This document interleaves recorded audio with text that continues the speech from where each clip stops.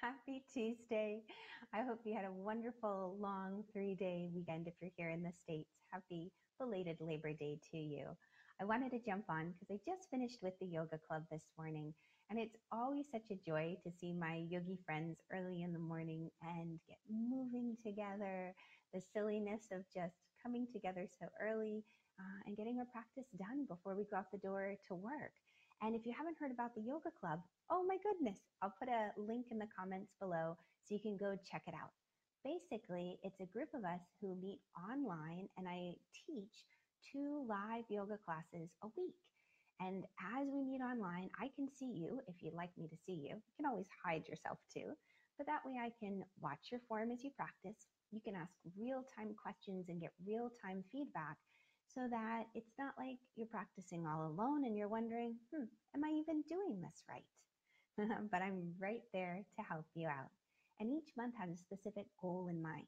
So for September, we're opening the hips and we're getting not only the achiness and the tightness out of the hips, but we're really noticing the fall season. And as we transition into it, what's most helpful to have on hand to be ready for what's coming up otherwise known as the holidays and back to school. so the hip openers, what they can do is calm and soothe the nervous system, keeping us grounded, our head level as chaos starts to reign with these new routines that come as the weather changes.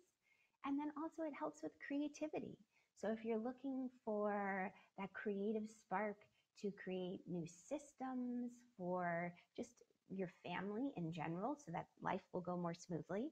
Or if you're very on top of it, Christmas presents, holiday presents, or even holiday cards. Holy moly.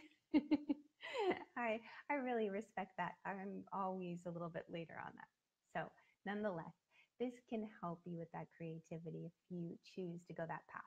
Go ahead and join me. We're going to come into the pose that I wanted to share with you. So, when you wake up in the morning, let's say you're just feeling really tight and stiff and achy in the back, you can start on all fours in table position. And on the exhale, just round the spine, the belly draws in. And the inhale, you open the chest, you roll sit bones to sky. And go back and forth. Inhaling through the nose and exhaling through the nose. We'll do one more. This is great for a gentle wake up to the spine it's wonderful for releasing tight backs, especially lower back. And inhaling. And then table. Now from table, table we'll make it very sweet. You're going to take your right leg and swing it forward in between your hands. Make sure you wiggle your left leg back enough so that that knee is way behind your hip. The toes curled under for balance, and then hands to the right thigh. Press that right hand down into the thigh and lengthen up through the left side from left ribs to fingertips. And on the exhale, gently twist elbow across thigh. And you stack the hands one on top of the other. So it's a variation on our revolved side angle pose. And you take it gently. Doesn't have to be too deep at all. It's first thing in the morning. You're just doing this to get that achiness, that stiffness out of the spine, the hips, to get your tummy nice and happy. Now, on the last two breaths here, let's do a little trick where you interlace your fingers, press down more through the upper part of the hand, and gently twist those right ribs towards the left leg. Good work. On the inhale, you're going to slowly unwind, hands to floor, and slide that knee back. Okay, left leg comes forward. The right toes are curled under, and you wiggle the knee back just enough so that you can feel a little bit of opening on the front of the right thigh. Left foot presses down, right knee anchors, and you isometrically draw foot and knee towards each other. Hands to thigh. And we take that time setting the foundation so that we feel a little more stable when we come upright and not so wobbly. Left hand presses down, right arm extends up. And here we go.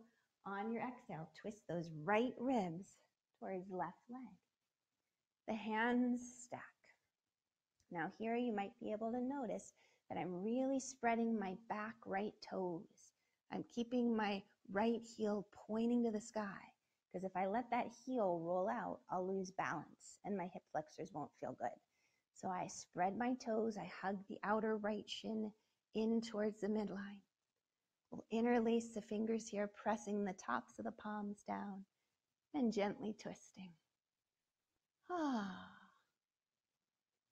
On the inhale, look to the floor, unwind the torso, hands come down, and you can slowly come out of the pose any way you choose.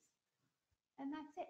Something nice and simple to get you jump started for the day, get the energy boosted, the just fogginess and fatigue that sometimes comes over our body and our brain when we wake up. And that's it. Thank you for joining me. I hope you have a wonderful Tuesday, and I'll catch you on the flip side. Bye, guys.